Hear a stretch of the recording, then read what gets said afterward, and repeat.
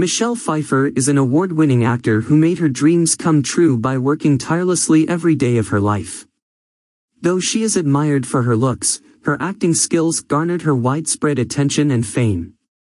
This blue-eyed beauty initially aspired to become a court reporter until she began performing minor roles on television and in a series of commercials.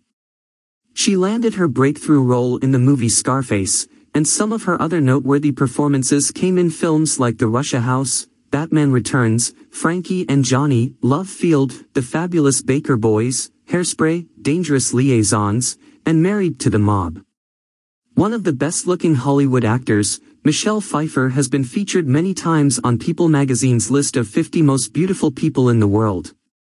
This Hollywood diva is known for guarding her privacy, and is admired for her humility.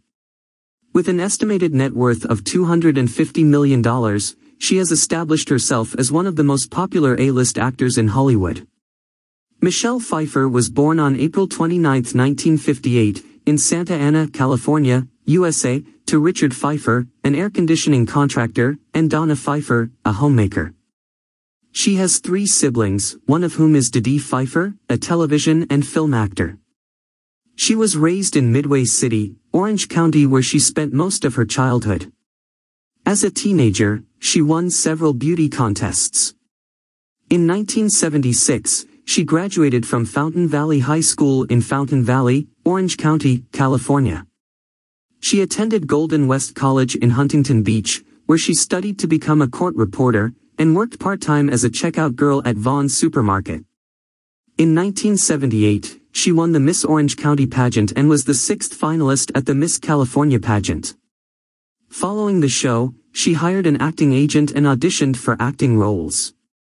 She began portraying minor roles in sitcoms like Fantasy Island, Delta House, and BAD Cats.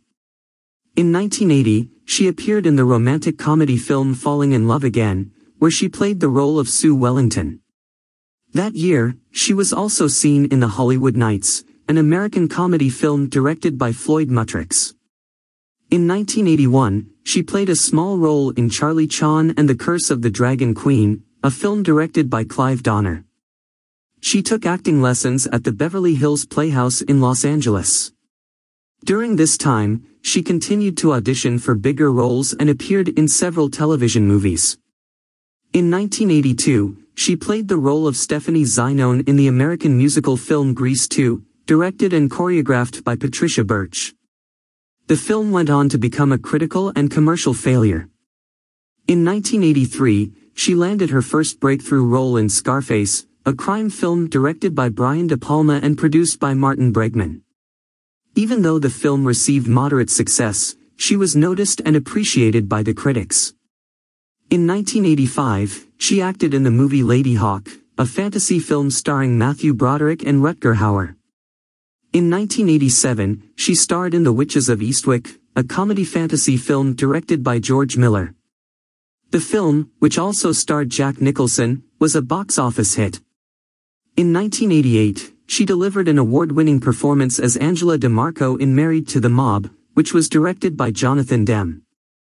Michelle Pfeiffer played the role of Marie de Tourvel in the Academy Award-nominated film Dangerous Liaisons, which was based on a play titled Les Liaisons Dangereuses.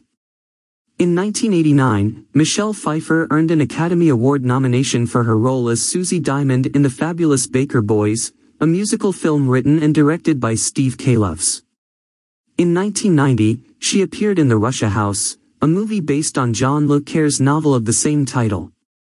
Her role Katia Orlova required her to adopt a Russian accent, and her efforts paid off when she was nominated for a Golden Globe Award for her performance.